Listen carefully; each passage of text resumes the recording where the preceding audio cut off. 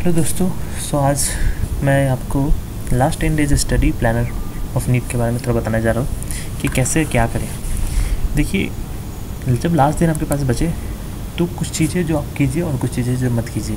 उसके बारे में सबसे पहले मैं आपको डिस्कस करूँगा। जैसे कि नंबर वन थिंग कि डिवोट अपने आप को कर लीजिए सिक्स आवर्स तो पढ़ाई करना ही है। उससे कम प्लीज़ मत कीजिए, क्योंकि ये आपके फुल करियर के बारे में है। मैम आपको मैं रिक्वेस्ट करता हूँ कि अगर आप नीट दे रहे हैं। और रिमेंबर वन थिंग कि अगर आप नीट इस बार दे रहे हैं तो आप, अगर अच्छा कॉलेज आपको मिल जाता है तो हंड्रेड परसेंट आपका लाइफ जो है ना, एकदम अच्छा हो जाएगा।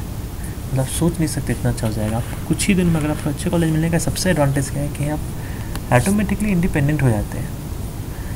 अब जैसे पास आउट होते हैं कॉलेज से, आपको एक अच्छी, कहीं ना कहीं तो आप सेटल हो ही जाएँगे। अच्छे से एक डॉक्टर बन जाएँगे। सो so, देखिए अब मैं आपको सजेस्ट करूँगा कि क्या कीजिए और मत कीजिए। So devote at least six hour a day P C B problem solve कीजिए। Take test to prepare yourself mentally क्योंकि देखिए टेस्ट जितना लीजिएगा आप मेंटली प्रिपेयर्ड हो जाइएगा। क्योंकि देखिए अगर आपको मार्क्स आए कि नहीं आए वो आपको समझ में आएगा कि हाँ इस टेस्ट देने से हमको इतना तो मार्क्स आ रहे हैं। तो एटलीस्ट इतना तो आपको आइडिया आ जाएगा कि ये आपको इतने मार्क्स दे रहे हैं। हेंस डेफिनेटली आपका रिज़ल्ट होने वाला है। आपको मैं ये भी सजेस्ट करूँगा कि अगर आपको नहीं मार्क्स आ रहा है तब पर भी आप कॉन्फिडेंस अपने आप में जगाए रखें, क्योंकि उससे क्या होगा कि आपको नहीं भी जो चैप्टर आता रहेगा, नहीं भी टॉपिक आता रहेगा, उस कॉन्फिडेंस का जैसा आप कर लीजिएगा। लेकिन एक बार आपका, एक बार आपका कॉन्फिडेंस डाउन हो गया ना सो आपका जो आ रहा है चैप्टर वो भी डाउन हो जाएगा। मेरा बहुत सारा ये दिखा हुआ है स्टूडेंट्स में। जो कि अच्छे स्टूडेंट्स एक बार डिमोटिवेट हो गए। तो उनको मोटिवेट करते करते एग्ज़ाम निकल जाती है गाइस सल suggest you keep motivated but do more than six hour a day at least more than six hour take test take test to prepare yourself mentally take study breaks at frequent interval to stay fresh and motivated लेकिन इसमें भी आपको यही मैं suggest करूँगा कि इसमें कम से कम तीन आवर्स का तो गैप रहना ही चाहिए। मतलब तीन घंटे के लिए मिनिमम आप पढ़ाई कीजिए, उसके बाद ही ब्रेक लीजिए। ऐसा नहीं कितने स्टूडेंट का क्या रहता है कि एक घंटे का बना ब्रेक डेढ़ घंटा वन एंड हाफ़ आवर किया ब्रेक उससे कभी नहीं होने वाला है रिज़ल्ट आपका। क्यों नहीं हो रहा मैं बता देता हूँ आपको। दोस्त, मैं खुद टीचर हूँ, लेकिन मैं आपको बता रहा हूँ कि जब मैं खुद इन्हांस हो चुका है मेरा ब्रेन क्योंकि आप जब इतने दिन काम फ़ील्ड में तो आपका इन्हांस हो जाता है वो अलग चीज़ है, लेकिन मैं जो टॉपिक पे आ रहा हूँ, वो फिर से कवर करता हूँ उसको, क्योंकि मैं अभी खुद भी जब पढ़ने जाता हूँ तो मैं अगर एक घंटे में वो टॉपिक कवर करता हूँ तो नहीं हो पाता है। वही ले लेके करने से होता है क्या कि आपका माइंड डाइवर्ट हो जाता है। फिर से आप आएँगे तो आपका पंद्रह मिनट किसी स्टूडेंट का आधा घंटा चल जाता है, वही चीज़ को फिर से अपने माइंड को कंसनट्रेशन कंसनट्रेट करने में। कंसनट्रेशन इज़ वेरी इंपॉर्टेंट आप जब तक कंसनट्रेट करेंगे हाफ़ एन आवर निकल गया, फिर आप हाफ़ एन आवर कीजिएगा, फिर ब्रेक ले लीजिएगा। तो वो ऑब्वियसली लास्ट टाइम में तो प्लीज़ मत कीजिए। एटलीस्ट थ्री आवर्स का जो एक है ड्यूरेशन बनाइए। उसी में ही कीजिए। उससे कम में मत कीजिए। नहीं तो रिज़ल्ट आपका नहीं हो सकता। Then also suggest to tick let अब बात करते हैं कि क्या नहीं करना चाहिए। Don't start studying chapter from scratch देखिए, कितने आपके ऐसे चैप्टर रह ही गए होंगे बहुत सारे स्टूडेंट के, कि जो आपने कुछ नहीं ज़्यादा किया होगा उसमें। बहुत सारे ऐसे चैप्टर रह जाते हैं मैकेनिक्स के रह जाते हैं। मे भी कोई भी चैप्टर हो सकता है आपका एलेवंथ का ट्वेल्थ का। मे बी एलेवंथ में आपने कुछ ज़्यादा अच्छा नहीं हो पाया होगा। मे बी कोई रीजन की वजह से। बीमार पड़ के होंगे, है ना? या फिर आपको क्लासेस सही मिल, नहीं मिले होंगे। तो इस वजह से तो वो चैप्टर्स को लास्ट में मत कीजिए। बहुत सारे स्टूडेंट मिस्टेक करते हैं कि हाँ अब वो क्या करते हैं, वही चैप्टर को पकड़ते हैं जो उनको नहीं आया। तो मैं तो आपको यही सजेस्ट करूँगा यहाँ पे कि जो अपने ट्वेल्थ के, जो किए, अगर ट्वेल्थ के जस्ट इस बार एग्ज़ाम दिया आपने तो ट्वेल्थ के एटलीस्ट आपके चैप्टर कंपेरेटिवली ज़्यादा अच्छे रहेंगे एलेवंथ के। तो आपको सजेस्ट करूँगा ट्वेल्थ के चैप्टर जितने भी, उसी पे फोकस ज़्यादा से ज़्यादा उस पर फोकस कीजिए। तब जाके वो सब चैप्टर कीजिए जिस पर आपने कुछ नहीं किया।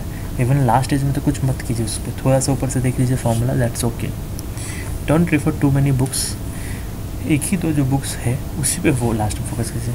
क्योंकि जितने, दस तरह का बुक दिखेगा, दस तरह का कॉन्सेप्ट रहेगा उसमें, दस तरह का confuse होइएगा okay don't stick to single subject per day all day आप बैलेंस करके चलिए कि नहीं, इसमें फिजिक्स में किया केमिस्ट्री किया बायोलॉजी किया। तीनों ही आपका होना चाहिए डे बाई डे ठीक है?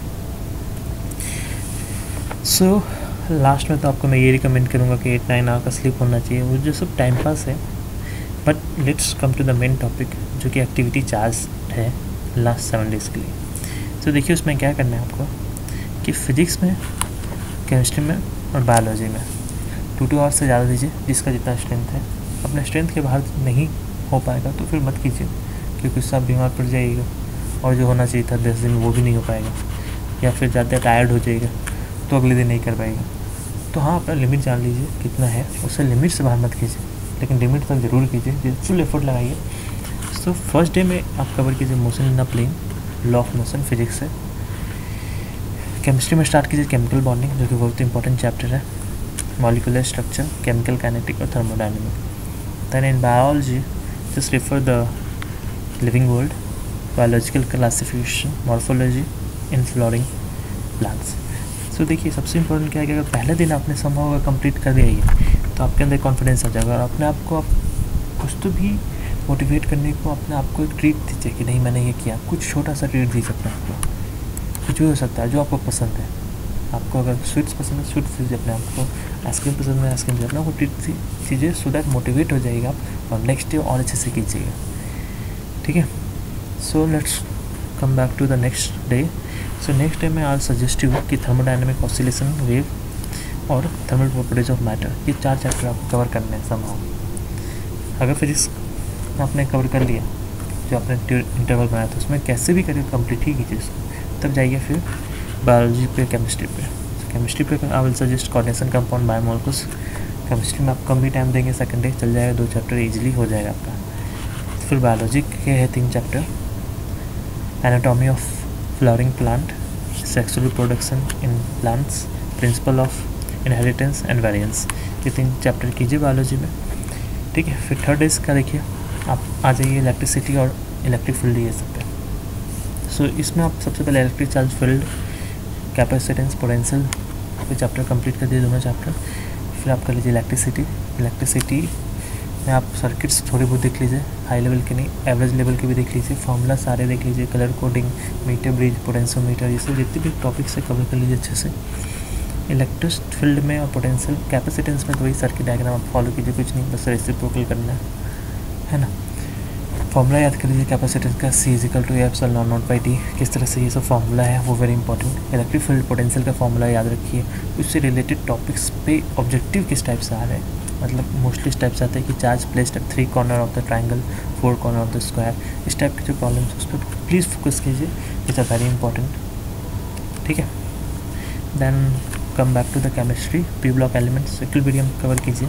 ऑर्गेनिक केमिस्ट्री में सम सम बेसिक कॉन्सेप्ट है, वो कवर कर लीजिए तीन चैप्टर देन बायोलॉजी में आपको लीजिए cells unit of life evolution molecular basic of inheritance environmental issues somehow अगर आप तीन डेज़ का कर लेते, ये तीन डेज़ का, और वो एक फोर्थ डेज़ जैसे ही आपने कर लिया, जो कि लास्ट फोर डेज़ का मैं आपको बता रहा हूँ कि मूविंग चार्ज मैग्नेटिज्म जो कीजिए मैग्नेटिज्म मैटर और some modern physics like semiconductor devices ये कर लीजिए।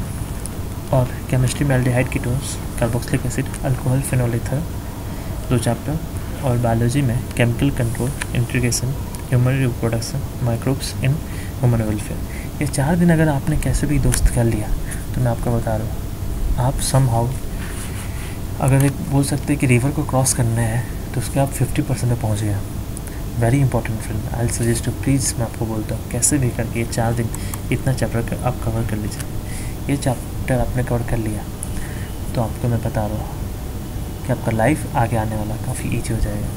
अगर once you crack the exam then definitely आपका सब एग्ज़ाम्पल सेट करेंगे आपके लिए। देखिए, क्योंकि ये चार करने से प्रॉफिट क्या होगा कि मैं फिफ्थ डेट आपको बोल रहा हूँ कि सिर्फ़ टू फुल लेंथ टेस्ट देना आपको फिजिक्स केमिस्ट्री बायोलॉजी में। तो थोड़ा रिफ्रेश भी हो जाएगा, आपको आइडिया भी आ जाएगा कि कितना मेरा लेवल बढ़ा। ठीक है? तो विच इज़ वेरी इंपॉर्टेंट ठीक है? फिर सिक्स डे सेवन और एट तीन डेज़ और करना है आपको, उसका फिर सिर्फ़ आपको टेस्ट देना है। तो सिक्स डे के लिए आपको करना क्या है कि सिस्टम ऑफ़ पार्टिकल्स और रोटेशनल मोशन है इलेक्ट्रोमैग्नेटिक इंडक्शन है, वो कर लीजिए। केमिस्ट्री में कर लीजिए structure of atom solution periodicity कर लीजिए बायोलॉजी में कर लीजिए आप photosynthesis in higher plants respiration in plants structural organisation in elements strategy for enhancement in food production then seventh day को आप कर लीजिए ऑप्टिक्स वेव ऑप्टिक्स फिजिक्स में। ये आपने कर लिया, हो गया फिजिक्स का काम आपका। देन केमिस्ट्री में आप कर लीजिए block element D N F block और लक्स रिएक्शन बायोलॉजी में रिविजन कर लीजिए biotechnology principle and process biotechnology and application transport in plants plant kingdom eight जो है वो आप कर लीजिए dual nature of radiation atom nuclei chemistry में कर लीजिए आप hydrogen hydrocarbon haloalkanes haloarenes organic compounds containing nitrogen biology में animal kingdom reproduction in organism circulation of body fluid digestion absorption ये आपने जैसे कर लिया नाइन टेन आपको सजेस्ट करूँगा कि three full length test of physics chemistry biology यहाँ पे आपको देना है। Finally the last day take active rest engage in activities to boost your mood and confidence. Be ready with the documents required for your NEET exam next day. तो इतना ही आपको करना है। कि अगर टेन डेज़ गाइज़ ये जो activity chart है, उन लोगों के लिए है जिन्होंने साल भर में कुछ तो भी पढ़ाई की है। उनके लिए नहीं, जो स्क्रैच से स्टार्ट हो रहे हैं इतने कम टाइम में आप इतना रिविजन वही कर सकते हैं जिन्होंने कुछ तो भी किया है एक एवरेजली ठीक है? तो वही, उम्मीद करता हूँ मैं आपको ये वीडियो अच्छा लगा होगा। हेल्पफुल होगा आपको। अगर आपको हेल्पफुल हो तो प्लीज़ लाइक कीजिए। अपने कुछ जो आपका फ्रेंड है, अगर आप तक ये वीडियो चला गया है तो अपने फ्रेंड से भी शेयर कीजिए कि लास्ट टेन डेज़ में कैसे करना है। उनका भी कुछ भला हो जाए, क्योंकि लोग आपके कम्पिटिटिव नहीं है, कोई यहाँ पे कंपटीशन नहीं है, क्योंकि लैक्स लोग भरते हैं। आपका फ्रेंड आपका कंपटीशन नहीं बन सकता है गाइस ठीक है? हाँ आप उसका हेल्प करेंगे। शायद उसके पास कुछ ऐसा मटेरियल लगा होगा तो वो भी आपको हेल्प करेगा। तो समहाउ दोनों की मदद हो जाएगी और आपका रिज़ल्ट अच्छा से अच्छा हो जाएगा। यही उम्मीद करता हूँ कि ये वीडियो आपको अच्छा लगा हो। तो अगर अच्छा लगा हो तो लाइक कीजिए। अगर आप प्लीज़ सब्सक्राइब कर दीजिएगा तो अच्छी बात है। सो डैट अगर आगे वीडियो में बनाता हूँ रिलेटेड टू दिस नीट तो आप कित तक पहुँचे और हेल्पफुल हो आपको। और हो सके तो शेयर कीजिए आपके अपने फ्रेंड चलिए thank you for watching this video best of luck for your coming exam